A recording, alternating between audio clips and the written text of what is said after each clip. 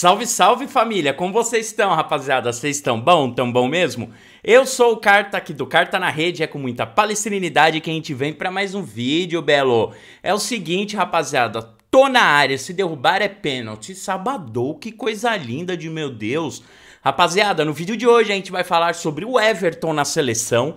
Também temos o balcão de negócio que é a CBF, e eu mostro para vocês, é isso mesmo? E também, cara, a gente não podia deixar de falar sobre o Manzukit. O que, que eu falei para vocês? Eu avisei ontem, tava muito estranha essa história.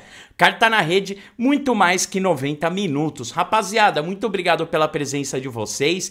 Aquele mantra de sempre, se inscreve, deixa o like, clica no sininho. Isso daí me ajuda demais. Não se esqueçam também, bonés e camisas originais, tudo na Porcolândia a maior loja licenciada do Palmeiras do mundo, a única com uma web rádio dentro, beleza? Boné Carta na Rede tá lá e todos os produtos originais, mais de 3 mil itens. Rapaziada, olha só, porcolândia1914.com.br ou Rua Caraibas, número 32, beleza? Em 10 vezes e o melhor de tudo, tem um cupom Carta na Rede de 10%. Você que é membrão, é membro do canal, tem 15% de desconto, beleza? Tamo junto, família. Rapaziada, vamos começar pelo o Everton. O Everton, a seleção quando tem o Everton no gol não perde. Não perde. Isso daí já tá mais do que comprovado. Mas o Everton foi titular. Por que ele foi titular? Porque os clubes lá de fora, os clubes ingleses principalmente, não estão liberando os jogadores para para esse campeonato aí que a seleção tá disputando, a eliminatórias, esse campeonatinho, eles não estão liberando. Então eles não liberaram o Alisson e o Everton foi convocado. Agora o Everton ele está sendo titular. Eu não acho eu não vejo problema em convocar o Everton, convocar, sei lá, todo mundo do Palmeiras. A questão é quando convoca e não põe o cara para jogar. Isso que é o estranho, gente. Não, não colocar o cara para jogar, né? O Everton tava sendo segunda, terceira opção ali com com o Alisson. Olha só que absurdo. Gente, se fizer barulho é o meu cachorro causando, tá? Ele, ele tá daquele jeito hoje. Então, a gente vê a dificuldade que é quando convoca né? Ah, agora convocou e estão colocando o Everton. Sim, porque o Alisson não tá aí. E realmente, o Alisson ainda é o melhor goleiro do mundo. Será que o Everton não tem o, o patamar para superar o Alisson? Agora a gente vê o Alisson não sendo convocado, o Everton sendo e jogando e não desejando, não desejando nada a ninguém. Isso daí tá claro. A gente sabe como o Campeonato Brasileiro é um dos mais difíceis do mundo. O Everton campeão da Copa do Brasil, campeão da Libertadores, campeão da do Campeonato Paulista. Então mostra exatamente como o Everton é grande. A seleção não pode deixar de convocar o Everton, sendo que é, convoca o cara e deixa no banco. Não, põe ele de titular, deixa o Alisson lá. Será que realmente o Alisson é o goleiro que deveria estar sendo convocado? Na minha opinião, não, não é. É o Everton que tem que ser. Já que o Palmeiras libera, convoca o cara. Hum, é muito estranho isso, é muito estranho. A questão é que com o Everton a seleção brasileira não perde, não perde.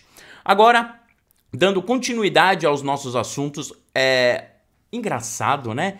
Convocaram o Arthur do Bragantino. Gente do céu, é sério isso? Que absurdo. E não convoca o Dudu.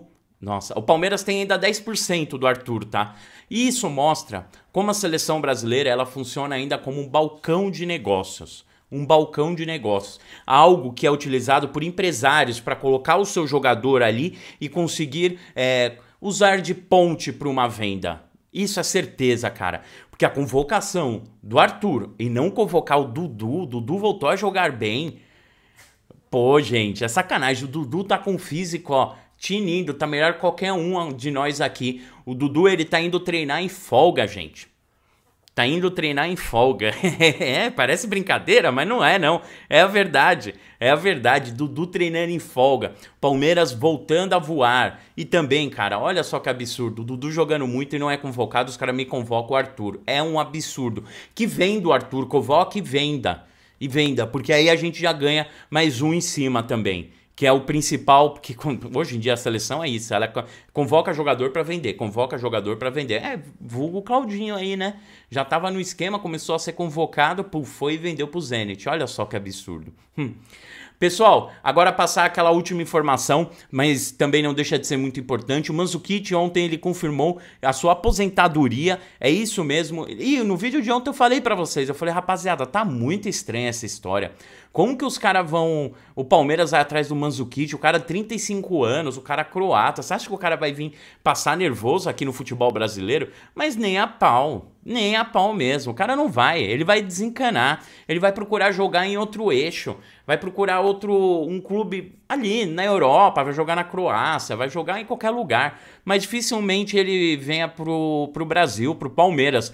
E isso daí se concretizou. Agora eu tenho que falar uma coisa para vocês de coração. A torcida está desesperada por contratação, gente. Desesperada. Isso é um absurdo.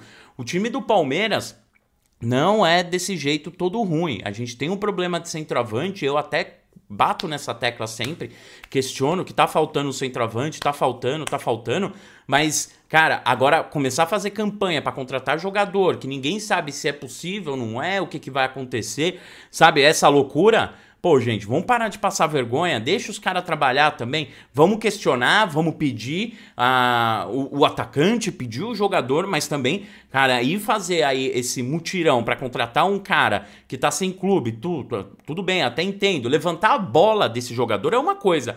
Agora começar a puxar, puxar a corda para falar contrata, contrata. Aí, sabe, não é assim porque tá livre tem que contratar. Precisa avaliar o cara. A, o pessoal da análise técnica precisa olhar para ele, precisa ver como funciona isso. Não é fácil, gente, não é fácil. Não é assim também, meio de qualquer jeito. Não é assim que funciona.